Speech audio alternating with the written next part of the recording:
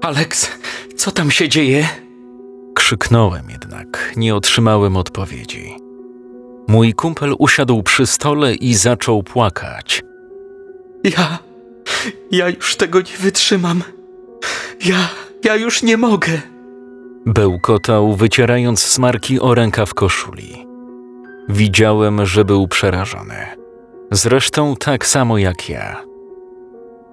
Po kilku minutach drzwi salonu otworzyły się, a w progu stanęła pani Cegielska. Miała częściowo rozdartą bluzkę. Wszystko w porządku, chłopcy. Oznajmiła, rzucając w stronę Aleksa groźne spojrzenie. No i co się marzesz?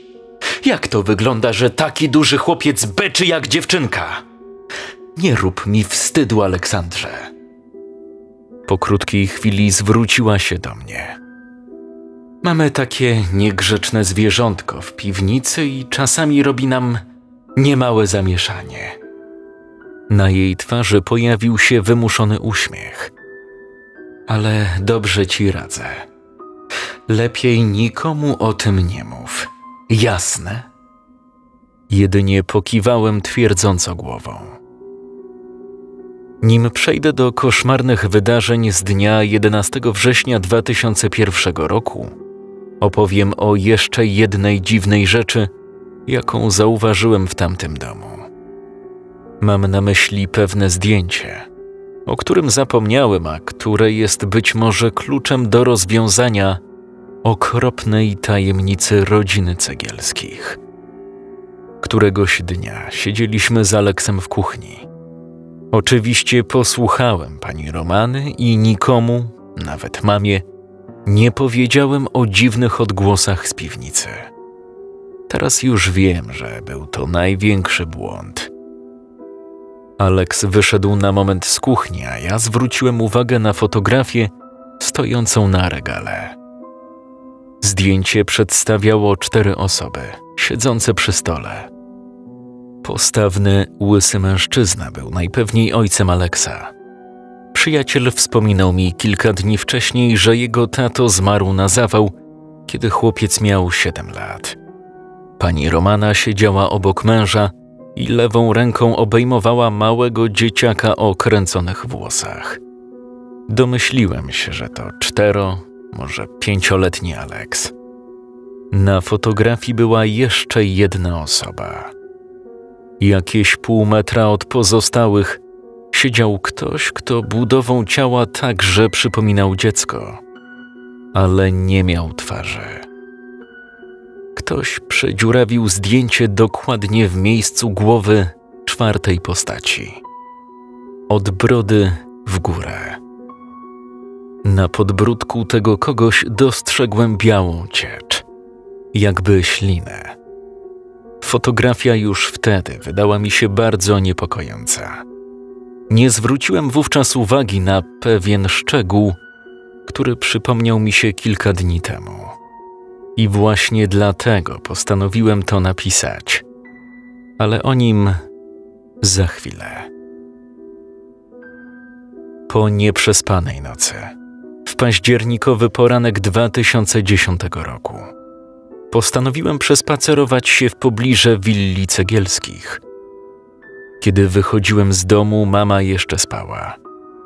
Minąłem kilka domów. Następnie zboczyłem w polną drogę prowadzącą na szczyt wzgórza. Zbliżając się do zrujnowanego budynku, czułem, jak z każdym krokiem coraz bardziej wali mi serce. Co jeśli go spotkam? Co jeśli spotkam tego potwora? Jednocześnie byłem głodny prawdy. Chciałem wiedzieć, dlaczego zrobił coś tak okropnego. Znajdowałem się kilkanaście metrów od furtki, kiedy zobaczyłem, jak wychodzi z domu. Zamarłem, gdy wbił we mnie wzrok. Furtka była lekko uchylona. Wszedłem na teren posesji i ruszyłem wybrukowaną alejką w stronę drzwi. Tego pięknego poranka 11 września 2001 roku Mieliśmy się spotkać z Aleksem w jego domu i dokończyć budowę modelu samolotu. To był nasz projekt na zajęcia z plastyki. Niosłem solidny aeroplan z tektury, który mój kumpel skończył sklejać dzień wcześniej. W domu naniosłem na skrzydła biało-czerwone barwy, a resztę samolotu pomalowałem na niebiesko. Wystarczyło jedynie przymocować plastikowe skrzydła i Alex chciał jeszcze nanieść na kadłub jakiś napis. Było kilka minut po ósmej, a lekcje zaczynaliśmy o dziewiątej, więc musieliśmy się pośpieszyć. Nim dotarłem do drzwi i zadzwoniłem na dzwonku, pomyślałem o tych wszystkich dziwnych wydarzeniach z ostatniego okresu. O niepokojących odgłosach z piwnicy, przedziurawionym zdjęciu rodzinnym. Zastanawiało mnie, kim może być osoba, której ktoś usunął głowę z fotografii. Byłem pewny, że Alex coś przede mną ukrywa choć znaliśmy się dopiero trzy tygodnie. Byliśmy najlepszymi przyjaciółmi. Dzieliliśmy się ze sobą naszymi sekretami. Rozprawialiśmy o dziewczynach z klasy, która jest najładniejsza i z którą fajnie byłoby pójść na lody. Kiedy jednak próbowałem podjąć z Aleksem rozmowę dotyczącą chociażby odgłosów z piwnicy, chłopak momentalnie zaczynał mówić o czymś innym. Twierdził, że to jedyna rzecz, o której nie może mi nic powiedzieć. Kiedy jednak próbowałem drążyć temat dalej, kumpel zapewniał mnie, że kiedyś zdradzi mi tę tajemnicę. Kiedyś, jak będziemy dorośli i wyrwiemy się już spod władzy rodziców. Zadzwoniłem na dzwonku. Raz, drugi, trzeci jednak nikt mi nie otwierał. Położyłem model samolotu na ławeczce obok drzwi i szarpnąłem za klamkę. Trochę zdziwiło mnie, że drzwi są otwarte. Dzień dobry. Alex, jesteś? Wszedłem, bo dzwonię i dzwonię i nikt mi nie. Zamarłem. Gęsta ślina stanęła mi w gardle. Poczułem, jak usta otwierają mi się mimowolnie, a włosy stają dęba. Romana Cegielska leżała na plecach w kałuży krwi, tuż obok uchylonych drzwi piwnicy. Nie to było jednak najgorsze. Obok niej klęczał Alex. Był odwrócony do mnie tyłem, ale poznałem go po budowie ciała i fryzurze. Chłopiec, klęcząc, unosił do góry zardzewiały młotek, po czym gwałtownie opuszczał go na dół, roztrzaskując głowę swojej matki. Krew bryzgała po ścianach i suficie. Alex, co ty robisz? Wydusiłem zachrypniętym z przerażenia głosem. Właśnie wtedy mój przyjaciel odwrócił się i spojrzał na mnie obłąkanym wzrokiem. Gdy ujrzałem jego twarz, także całą obryzganą krwią, upewniłem się, że to on. Spojrzałem też na twarz pani Romany. Była całkowicie zdeformowana. Alex wydał z siebie dziwny jęk i odniosłem wrażenie, że próbuje wstać z kolan. Wrzasnąłem na całe gardło, po czym wybiegłem z tego przeklętego domu. Gdy gnałem zszokowany w kierunku domu, natknąłem się nagle na panią Jadwigę. Tę, o której opowiadałem na początku. Kobieta wracała chyba ze sklepu. A gdzie ty tak pędzisz o tej porze? Coś się stało? spytała, widząc najwyraźniej łzy i przerażenie wymalowane na mojej twarzy. Tam, tam! Wskazywałem ręką w stronę domu cegielskich. Pani Romana, ona. Coś działo się z moim głosem. Nie potrafiłem wypowiedzieć słowa. Co? Co tam się stało? Krzyknęła pani Jadzia, szarpiąc mnie za ramiona tym samym okazując swój niepokój. Nie żyje! Wrzasnąłem, po czym wybuchłem płaczem. Tam jest pełno krwi i ona nie żyje! Po moich słowach pani Jadwiga ruszyła szybkim krokiem w górę wzgórza. Pomyślałem, że grozi jej niebezpieczeństwo. Skoro Alex zrobił krzywdę własnej matce, to tym bardziej nie zawaha się zaatakować pani Jadzi. Kobieta jednak przeżyła. Opowiadała później mojej mamie, że stanęła w progu domu cegielskich i zobaczyła martwą panią Romanę oraz Aleksa, klęczącego obok matki i trzymającego się za głowę. Podobno, gdy na miejscu zjawiło się pogotowie wraz z policją, chłopiec nic nie mówił.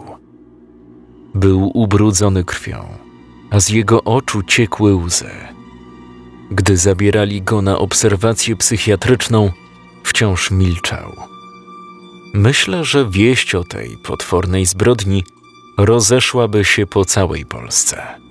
Gdyby w tamtych dniach nie mówili w telewizji jedynie o wyburzeniu wież World Trade Center lub, jak to nazywa zmanipulowane społeczeństwo, o ataku terrorystycznym na wieżę World Trade Center. Więc z historią 11-letniego dzieciaka, który zamordował własną matkę, można się było zapoznać czytając jedynie lokalną prasę. Alex zniknął ze społeczeństwa. Podobno nie mieli wątpliwości, że to on zabił. Głównie dzięki śladom DNA. Ja także nie miałem wątpliwości. W końcu nakryłem go na gorącym uczynku. Sięgnąłem do skórzanej torby przewieszonej przez ramię i wyciągnąłem z niej tekturowy model samolotu. Po wydarzeniach z 2001 roku długo nie mogłem dojść do siebie. I któregoś dnia, kiedy odnalazłem nasz niedoszły projekt, postanowiłem go skończyć. Przymocowałem do niego plastikowe skrzydła, a na kokpicie wymalowałem pierwsze litery imion mojego i Aleksa. Powoli z samolotem w ręku. Kroczyłem w kierunku dorosłego Aleksa, który wciąż stał w miejscu i lustrował mnie przeszywającym spojrzeniem. Zastanawiałem się, jak zareaguje na widok tekturowego modelu, który traktowałem trochę jak symbol naszej dawnej przyjaźni. Wiedziałem, że mogę być w cholernym niebezpieczeństwie. To też byłem gotowy do ewentualnej ucieczki. Podszedłem pod samą furtkę i zawołałem niepewnie. Alex? Byłem pewny, że ten dobrze zbudowany młody mężczyzna to mój dawny kumpel. Może i przybrał trochę masy, zaokrągliła mu się buzia, jednak wyraz twarzy oraz ciemne kręcone włosy i to przenikliwe spojrzenie sprawiały, że nie miałem wątpliwości, kto powolnym krokiem zbliża się w moją stronę. Alex, to ja. W tym miejscu podałem swoje imię. Wiem, że mnie poznajesz. Posłuchaj, ja. Kompletnie nie wiedząc, co powiedzieć, zadałem sobie w myślach pytanie: Co ja tu do cholery robię? Kiedy w dorosłym życiu spotykamy przyjaciela z dzieciństwa, też często nie wiemy, jak zareagować. Niektórzy rzucają się sobie na szyję, inni po prostu podają sobie ręce i wspominają dawne, wspaniałe czasy, kiedy to nie musieli martwić się spłatą kredytu za mieszkanie albo płaceniem wysokich alimentów na bachora, którego niechcący zmajstrowali jakiejś dziuni pewnej księżycowej nocy. A jeszcze inni mijają się bez słowa. Zupełnie jakby zapomnieli o wspólnych przygodach i tym wszystkim, co kiedyś ich łączyło. W przypadku moim i Aleksa było trochę inaczej. Po latach spotkałem kogoś, kto najpierw w bestialski sposób zamordował człowieka, a następnie przesiedział masę czasu w jakimś wariatkowie. Powiedz mi tylko, dlaczego to zrobiłeś? Powiedziałem w końcu, kiedy dzielił nas już jedynie płot. Alex nie tylko się ślinił, ale wyglądał też jakoś inaczej. Jego twarz była dziwnie skrzywiona, podobnie jak u osoby z upośledzeniem. Mimo to wciąż przypominał tego sympatycznego chłopca sprzed dziewięciu lat. Co w ciebie wtedy wstąpiło? Wiem, że jesteś dobry. Wiem, że to musi mieć jakiś związek z tym czymś, co trzymaliście w piwnicy. Proszę, powiedz coś. Alex stał nieruchomo naprzeciw mnie. Śliniąc się, patrzył mi prosto w oczy, tępym wzrokiem.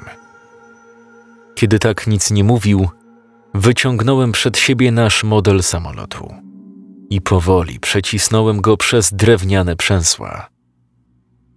Alex, poznajesz? Razem go zrobiliśmy. Pamiętasz? Ty zajmowałeś się sklejaniem, a ja malowaniem. Popatrz, tu są nasze inicjały. W tym momencie Alex chwycił mój nadgarstek w żelaznym uścisku i obłąkańczo śmiejąc się, zaczął zbliżać swoją twarz do mojej ręki. Zdałem sobie wówczas sprawę, że ten człowiek przypomina kogoś, kto wiele lat temu żył w lesie. Długa broda, cuchnący zapach. Byłem pewien, że chce mnie ugryźć. Alex, co ty wyprawiasz? Nie rób tego. Puść mnie. Co się z tobą stało? Byliśmy przy. W tym momencie wyrwał mi z ręki papierowy samolocik i w kilka sekund podarł go na strzępy. Zacząłem rozmasowywać obolały nadgarstek i dziękowałem Bogu, że to dzikie zwierzę nie odgryzło mi ręki. Już nic nie mówiłem. Patrzyłem, jak Alex odwraca się od płotu i drapiąc się po tyłku rusza w stronę domu. Po paru dniach Alex na zawsze zniknął z domu cegielskich. To stało się późnym wieczorem. Kilku mężczyzn ruszyło z pochodniami i kijami na wzgórze, by wypędzić z wioski tego zwyrodnialca. Patrzyłem na nich przez okno. Przypominali bandę prymitywnych wieśniaków, zmierzających na bagno, by rozprawić się z zamieszkującym je ogrem. Z późniejszych relacji tych mężczyzn wynikało, że ich plan się powiódł. Alex wybiegł z budynku i niczym zaszczute zwierzę pognał w głąb lasu. Nikt nigdy go już więcej nie widział. Zamki w domu cegielskich były wyłamane. Najprawdopodobniej właśnie tak dostał się do środka. Stara, zrujnowana willa znów opustoszała i stoi ponad wioską aż po dziś dzień. Pisząc to, mam 28 lat. Jestem szczęśliwym mężem i ojcem dwóch córek. Kilka dni temu odbyłem rozmowę z pewnym człowiekiem pracującym w szpitalu psychiatrycznym w naszym mieście. Nie chcę wspominać, jak doszło do naszego spotkania, ani kim jest dla mnie ten człowiek, ponieważ jest to nieistotne. Powiem tylko, że zupełnie przez przypadek rozmowa zeszła na Aleksa. Dowiedziałem się, że mój dawny przyjaciel był pacjentem mężczyzny, z którym rozmawiałem. Lekarz dobrze znał sprawę morderstwa sprzed 17 lat. Czy Aleksander zdradził ci kiedyś, dlaczego zabił? Niestety nie. Odrzekł znajomy, wkładając do ust papierosa. Na początku był bardzo zamknięty w sobie. Później zaczął robić się agresywny i musieliśmy naszprycować go lekami, po których już kompletnie nic nie mówił. Jedynie gapił się przed siebie i potwornie ślinił. Ale przyjrzałem się kiedyś tej sprawie i z tego co wiem, policja znalazła w piwnicy tamtego domu materac i jakieś opakowania po jedzeniu. Przyjęto, że ta zamordowana kobieta zamykała syna w piwnicy i dlatego pozbawił ją życia. Jak przyjęliśmy go na oddział, pamiętam, że z początku nie wyglądał na psychola. Przypominał bardziej osobę, która przeżyła jakąś potworną traumę. Dopiero z czasem szpital i leki zrobiły z niego totalnego świra. Choć trudno nie nazwać świrem dzieciaka, który morduje własną matkę. Zresztą nieważne. Jak to mówią, o zmarłych nie można mówić źle. Spojrzałem na znajomego szeroko otwartymi oczami. Ale jak to? Alex nie żyje? Nie żyje. Któregoś pięknego dnia postanowił z sobą skończyć i powiesił się na prześcieradle. Mieliśmy potem cholerne problemy z prokuraturą. Sam rozumiesz. Po naszej rozmowie pojechałem na cmentarz komunalny, na którym według tego, co powiedział znajomy lekarz, pochowano ciało Aleksa. Sam nie wiem, dlaczego postanowiłem się tam wybrać. Po prostu odczuwałem taką potrzebę. Nie potrafiłem pojąć dwóch rzeczy. Jakim cudem Aleks pojawił się przed śmiercią w naszej miejscowości. Wtedy, w 2010 roku, kiedy prawie złamał mi nadgarstek i zniszczył nasz samolot z tektury. Czy to możliwe, że wypuścili na przepustkę takiego psychopatę? A może on uciekł z psychiatryka, po czym z powrotem go dorwali i dlatego się powiesił?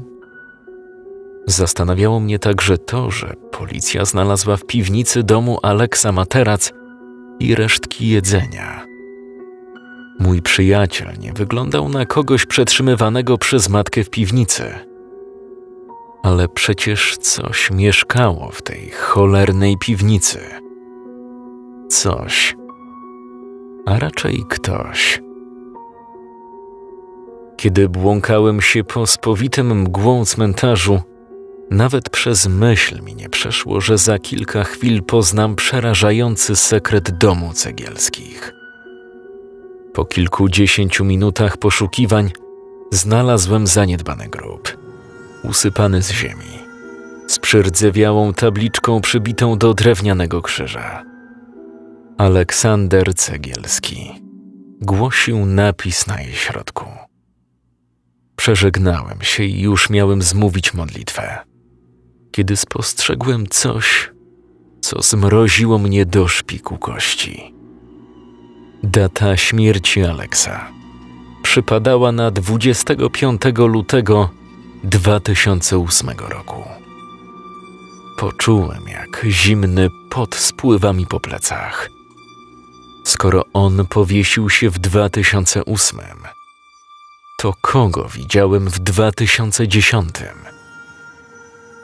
W tamtym momencie przypomniało mi się zdjęcie, o którym wspomniałem chwilę wcześniej. Przed oczami ukazał mi się pewien szczegół, będący chyba rozwiązaniem tej koszmarnej zagadki. Mały Alex i ten ktoś z przebitą twarzą mieli identyczne ubranka. Mój przyjaciel miał brata bliźniaka, którego z jakichś przyczyn Romana Cegielska trzymała w piwnicy. Być może dlatego przenieśli się z Warszawy na to nasze wiejskie zadupie, na którym nikt ich nie znał. Brat Aleksa mógł być jakiś opóźniony. Może przydusił się pępowiną w łonie matki lub po urodzeniu uległ jakiemuś wypadkowi. Odpowiedź na to pytanie chyba na zawsze pozostanie zagadką. W każdym razie Romana Cegielska nie chciała za wszelką cenę przyznawać się do dziecka, co w ostateczności przypłaciła życiem. Wychodząc z cmentarza, czułem, że przerażenie wewnątrz mnie narasta. Uświadomiłem sobie, że potwór wciąż pozostaje na wolności.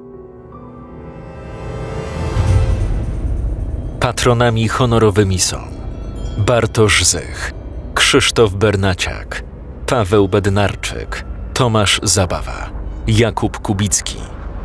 Patronami Mystery TV są Marcin Pielak, Paweł Szuszkiewicz, Radosław Rowiński, Adam G., Aleksandra Roszkiewicz, Bartosz Promiński, Natalia Wonriwa, Bartek Wąchała, Mariusz Popek, Tomasz Jakubowicz, Karol Śledź, Mateusz Musielak.